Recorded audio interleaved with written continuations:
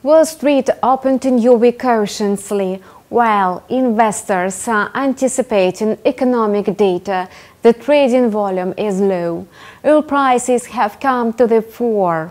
A rally in the oil market makes investors doubt steady disinflation. Warnings of air companies about rising fuel prices pushed the benchmark stock indexes. And today, stock investors will find out more pieces to the global economic puzzle. Comments of the two Fed's policymakers on further monetary policy are on investors' radars today. The major stock indexes closed yesterday in the red. The Dow Jones lost 195 points or 0.56%, the worst intraday loss. The Nasdaq inched down by 0.08%. The S&P 500 shed 0.42% to close at 4,496 points. The stock indexes went lower to the red zone in the New York pre-market. Futures on the stock indexes slipped by 0.2 and 0.26%. The S&P is expected to trade in the intraday corridor between 4,440 and 4,000 520 points. The three stock indexes closed lower on Tuesday due to rising yields of U.S. Treasuries and growing oil prices. Treasury yields went up after economic data proved the resilience of the U.S. economy. The upbeat data made a shrinking difference with the poor PMIs from Europe, the UK and China. Besides, the risk appetite was dampened by a rally in the oil market. Saudi Arabia and Russia decided to extend voluntary oil exports until the year end. As a result, the benchmark rates topped $90 a barrel for the first time this year.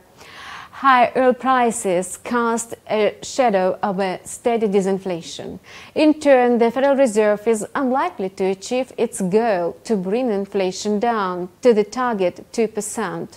Market participants uh, cherished hopes that the Fed would hit a pause button or eventually begin rate cuts. From now on, this scenario seems less realistic factory orders in the United States declined by 2.1% in July, having snapped a four-month sequence of growth. Still, the market gave a muted response to the such statistics. Among the 11 main sectors of the S&P, the energy sector displayed the most significant growth, rising by 0.5% after reaching roughly a seven months high, following announcements from Saudi Arabia and Russia about a new extension to the voluntary supply cuts.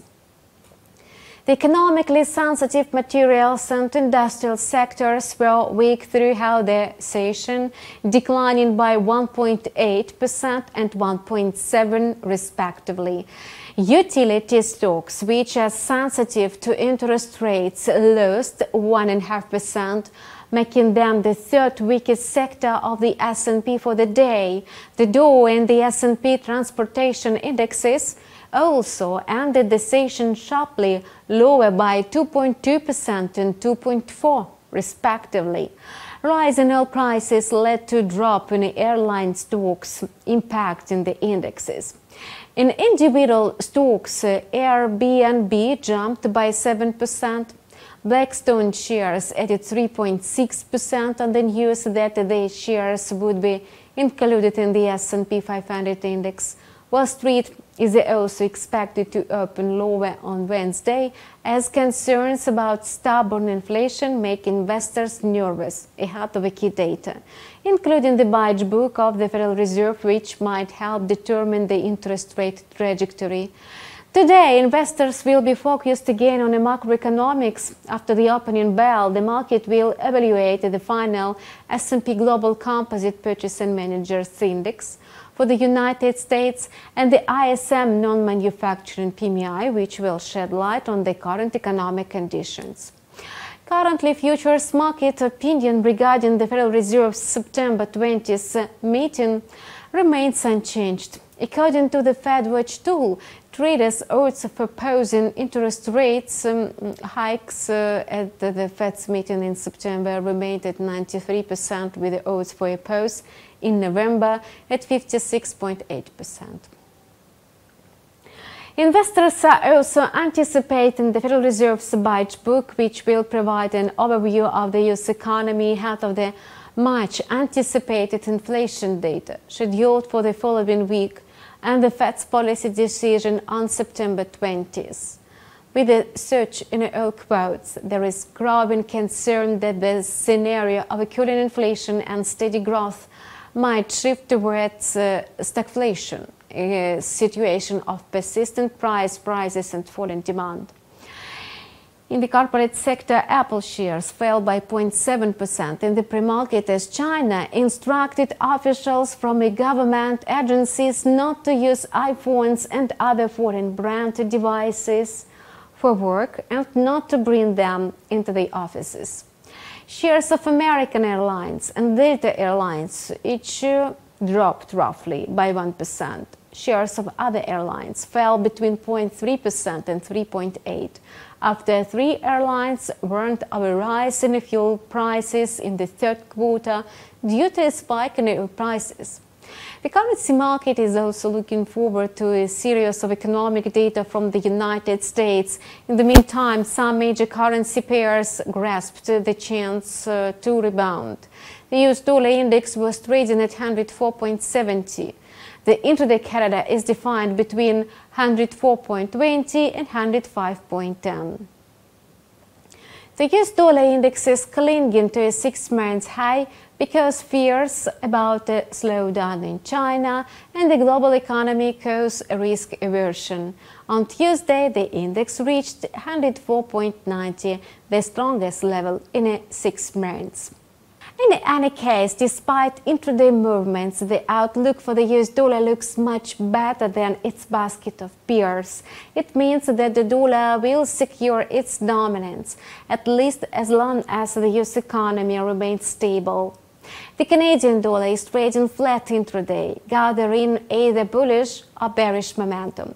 The policy meeting of the Bank of Canada will give fresh impetus to the loonie.